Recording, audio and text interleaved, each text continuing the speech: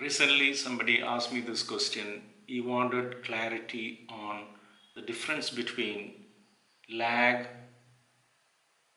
float, and buffer.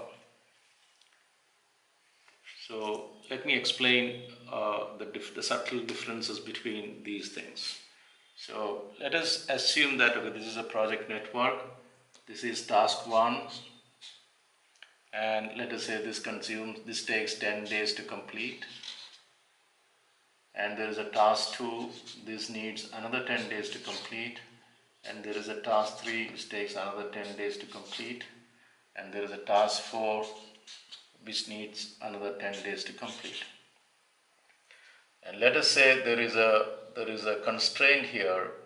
The task 2 task 2 can start only after five days waiting time.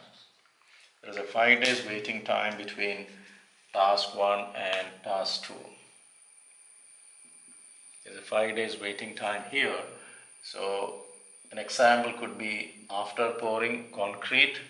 If task one is pouring concrete, then we should give enough time for curing it. So it is a typically you have to wait so that is this this uh, this waiting time we call it as a lag. So that is a, a, constraint. Like after completion of task one, I have to wait for five days before I start task two. We call it as a lag. There is a lag between task one and task two. So a lag is just waiting time.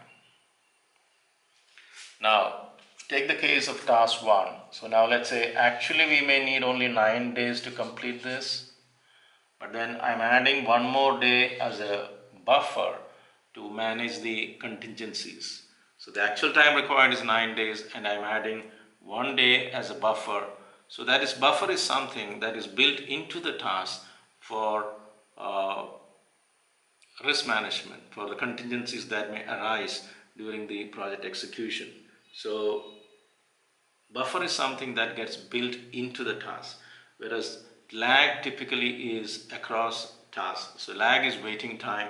Buffer is something which we build into the task to manage contingencies. Now in this case, now this can be treated as a network. Task, task 2 can start only after task 1. Task 3 can start only after task 2. Let us say task 3 task 4 can start after task 1 and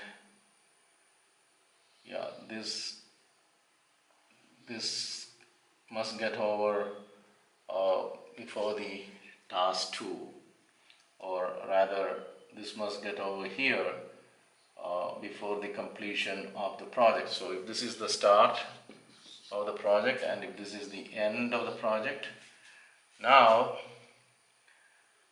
there is a kind of parallelism. Task 4, task 2, task 3, when task 2 and task 3 is happening, task 4 also can happen in parallel to it.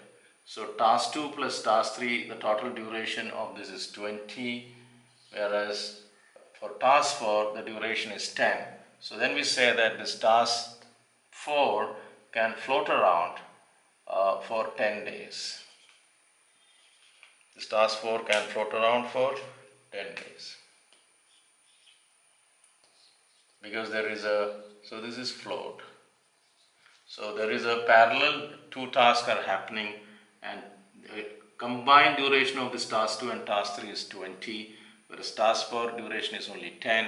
So task 4, even if it gets over, consumes 20 days to complete, the project will not slip. So that is, that is a float. To summarize, lag is just waiting time between tasks. Buffer is something that we inbuild into the task to manage contingencies, that is buffer.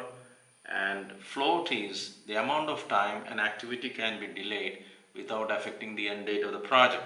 Typically, if there are parallel tasks, uh, one task duration is, or one path's duration is lesser than uh, another path, the difference we call it as float. in this case task 2 plus task 3 is 20 whereas task 4 is 10 so in this case 20 minus 10 10 becomes my float. I- presume that now things are clearer. Uh, you should be able to differentiate between uh, what is a buffer what is a lag and what is a float thank you